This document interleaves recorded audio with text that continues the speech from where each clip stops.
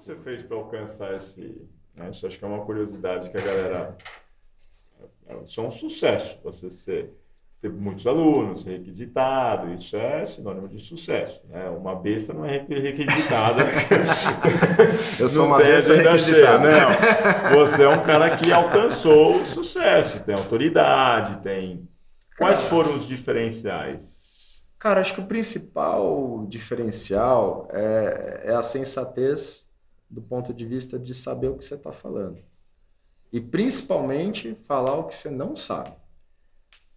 Então, se alguém te perguntar alguma coisa e você não sabe, não inventa, né? Fala que não sabe, vai procurar, vai estudar, vai aprender e para a próxima vez esteja preparado para isso.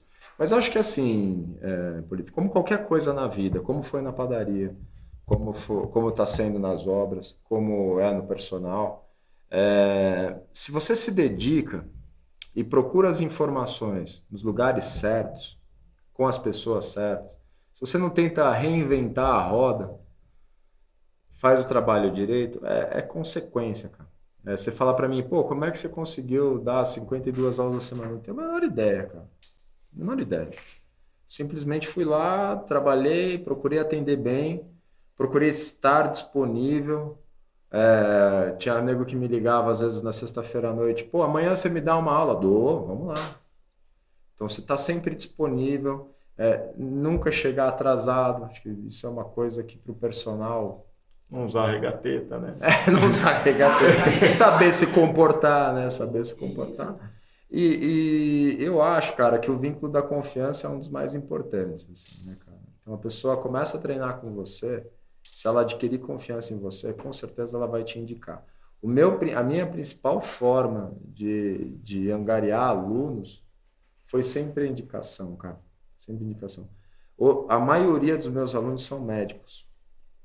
É, do, dos, de todos os alunos hoje que eu tenho, acho aproximadamente uns 9 ou 10 são médicos.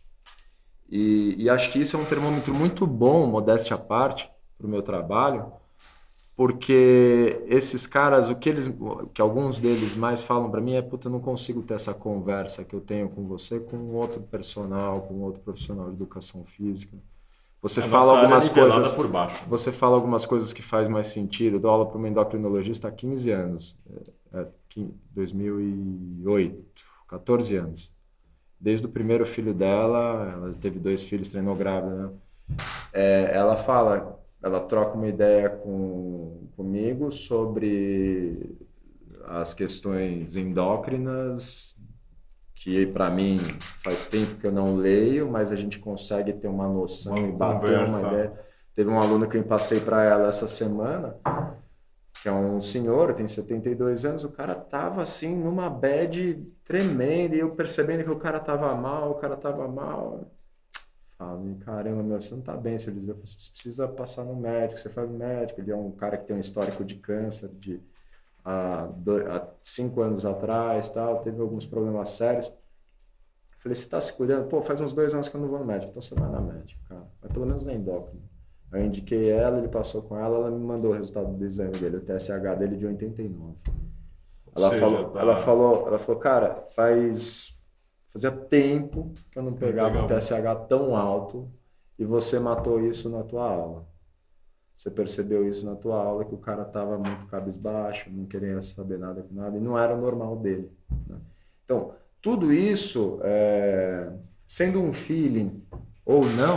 Profissional da saúde. É um profissional da saúde, você tem que estar tá ligado nisso, né? Você tem que olhar para o teu aluno e saber, até questões comportamentais, que muitas vezes a gente vê até o próprio Denis e o Douglas falar bastante, você tem que olhar para a cara do teu aluno, tentar perceber na comunicação não verbal dele, como ele tá, como ele chega para você, o que, que ele tá afim de falar. Às vezes ele tá afim de falar, às vezes ele não tá afim de falar. E isso tudo conta. Tudo isso para quê? Para você criar vínculo de confiança com ele, né? E quando você atende a expectativa dele, você é, é, consegue é, fidelizar ele, né? Quando você supera a, a, a, expectativa dele, cara, acabou. O cara ele vai confiar em você. E, E ele vai pensar duas vezes quando chega alguma coisa para ele, como hoje em dia eles são bombardeados aí de, de informação na mídia, de é, get a six pack, e te manda lá um negócio e você fala, porra. Eles mandam já zoando, né? Às vezes, às vezes vê alguém fazendo exercício errado e fala, puta, olha, aquele cara tá fazendo exercício tudo errado, sem eu falar nada. Porque o cara confia tanto, presta atenção no seu trabalho, então você fideliza teu aluno. É o que eu falei, a maioria dos meus alunos, eles são alunos de, de muitos anos. Né? Poucos alunos começam começam há pouco tempo, assim, um ou outro mesmo, e mesmo assim tem essa conversa de uma hora aí para entender quem é o cara, porque também vai ter aluno que eu vou falar, puta, não é meu perfil, não é comigo, eu não vou poder te atender.